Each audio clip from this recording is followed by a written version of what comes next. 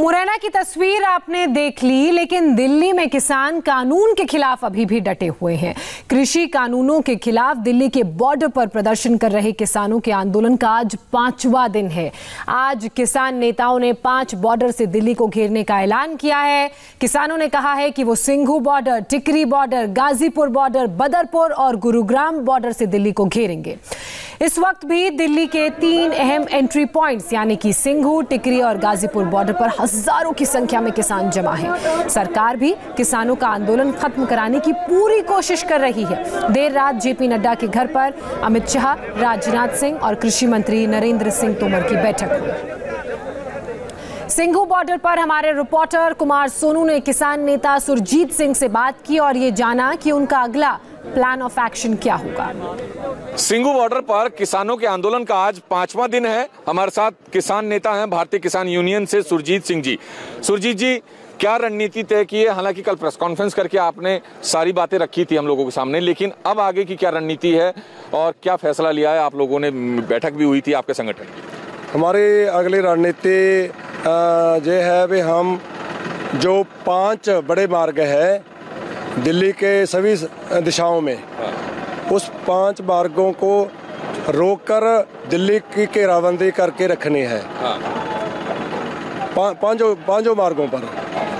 सरकार के चार बड़े नेता जेपी नड्डा खुद रक्षा मंत्री राजनाथ सिंह गृह मंत्री अमित शाह और कृषि मंत्री नरेंद्र सिंह तोमर कह रहे हैं कि अपील कर रहे हैं किसानों से कि नेशनल हाईवे को खाली करें और बातचीत करें।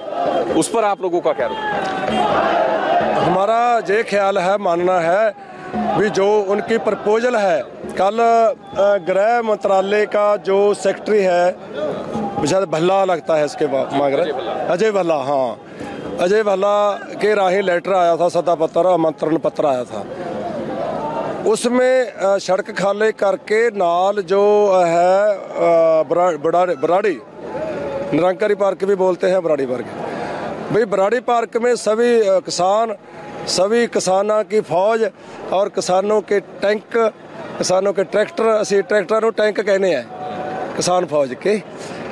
वो सर्विस उस पार्क में जाकर पहला जमा करें। सानू रिपोर्ट दें भी बिल्कुल क्लियर फिर बात करेंगे। इस करके असं वो जो शर्त लगाई थी उस बात को उसे ठकरा दिया। उनको जो आमंत्रण पत्र से उसको ठकरा दिया। तो जो भी बातचीत का दौर होगा वो सिंगू बॉर्डर पे दिल्ली के बॉर्डर पर बैठकर ही होगा? नहीं जी।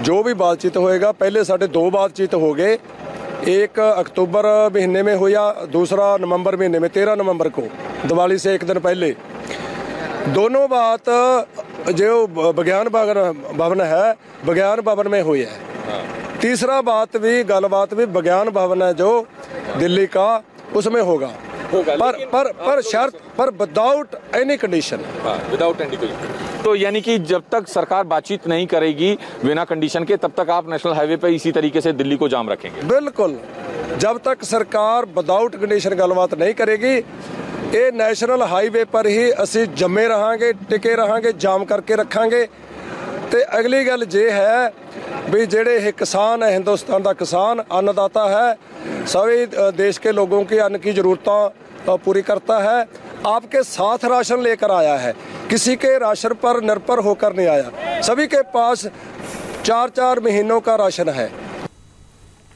तो आपने सिंघू बॉर्डर से मेरे सहयोगी कुमार सोनू की रिपोर्ट देखी। दिल्ली के टीकरी बॉर्डर की बात करें तो वहाँ भी किसान जमा हैं और उन्होंने हाईवे को बंद कर रखा है। देखिए दीक्षा की ये रिपोर्ट टिकरी बॉर्डर पर हूँ और यहाँ पर जो माहौल है, वो तनावपूर्ण है। दरअसल जो किसान हैं, वो लगातार अपनी जिद पर अड़े हुए हैं। लेकिन यहाँ पर सिक्योरिटी की क्या हालात है, मैं आपको यहाँ पर दिखाऊँगी। दरअसल यहाँ पर जो पुलिस बल हैं, वो धीरे धीरे यहाँ पर बढ़ाए जा रहे हैं। सिक्योरिटी कड़ी की गई है। दरअसल यहाँ पर वक्त वक्त पर जो है, माहौल वो काफ़ी ज़्यादा बिगड़ जाता है और जो यहाँ पर किसान आए हुए हैं, वो उग्र हो जाते हैं। सुबह का वक्त है। हम तस्वीर आपको यहाँ पर दिखा रहे हैं। दिल्ली पुलिस के साथ साथ यहाँ पर जो बीएसएफ के जवान हैं, वो यहाँ पर मौजूद हैं।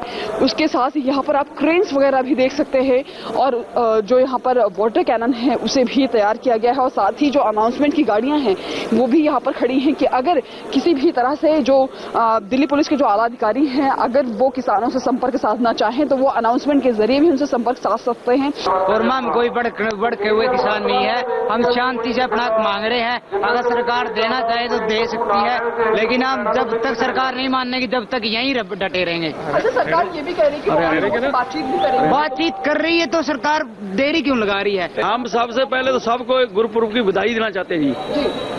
गुरु समाधान होने की उम्मीद है? बिल्कुल हम बंगला से आज अरदास भी करके आए किसी भी सभी हमारी कमों जो हमारी इच्छाएँ पूरी करें भगवान सबका भला करे।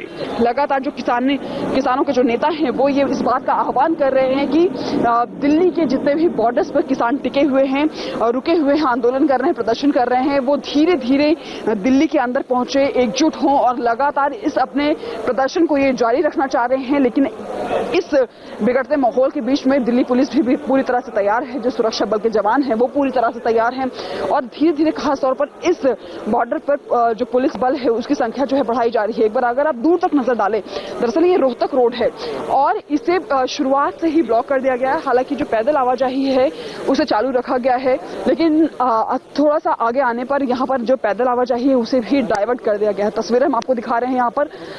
पूरे, पुलिस जो है, वो पूरी तरह से तैयार है और ये पूरी कोशिश है कि हालात यहाँ पर ना बिगड़े। बीते दिनों में कई बार जब हालात बिगड़े हैं तो यहाँ पर आँसू गैस के गोले भी छोड़े गए हैं। तो ऐसे में पुलिस यहाँ पर पूरी तरह से तैयार है और किसान भी अपनी जिद पर अड़े हुए हैं। कैमरा पर्सन जगदीश के साथ दीक्षा पांडे, टीवी, दिल्ली।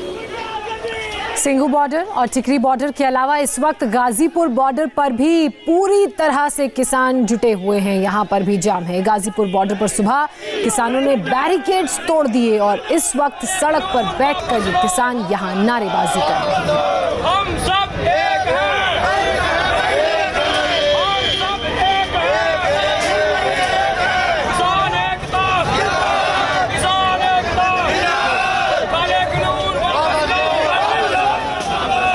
काले कानून किसान एकता किसान एकता किसान एकता काले कानून वापस लो वापस लो काले कानून वापस लो फ़िलहाल हम रुकेंगे एक छोटे से ब्रेक के लिए। ब्रेक के बाद आपको दिखाएँगे सरकार और किसानों के बीच पेंच कहाँ फंसा हुआ है।